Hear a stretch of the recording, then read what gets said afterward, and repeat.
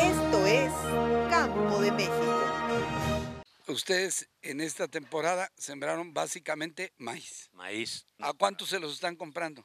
a 3.45, mientras el año pasado estuvieron pagando 3.90, 4 O pesos. sea, sacas 3.450 pesos la tonelada de maíz.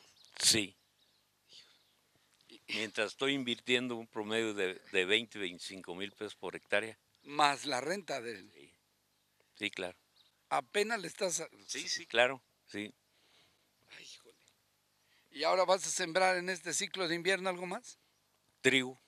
¿Cómo es posible que hace tres años que estábamos aquí se los compraban casi a cuatro mil y cacho, casi cinco mil? No, y ahora que somos más gente, que comemos más, que tenemos más necesidades, se los pagan más barato. Eso es lo que yo, yo espero que el gobierno tome cartas en el asunto.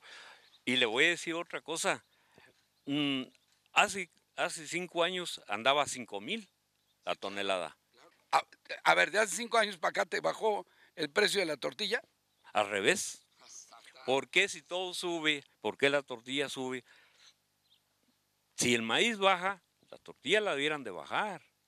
Empezamos así. Si lo que nos venden va así y lo que nosotros vendemos va así, ¿cuándo nos vamos a igualar? Entonces yo, yo pienso que por medio de ustedes tenemos que hacernos oír más arriba, a ver en qué forma. Te agradezco mucho. Yo espero que todo esto que difundimos sirva porque si, no, no es justo. Hay otros cultivos, como ustedes se dieron cuenta, los de invernaderos y algunos otros cultivos como el aguacate, los berries, etcétera, que sí están resultando un negocio. Pero los granos en México, no. No, no. Te agradezco mucho. Bueno. Siga a Campo de México en todas sus plataformas.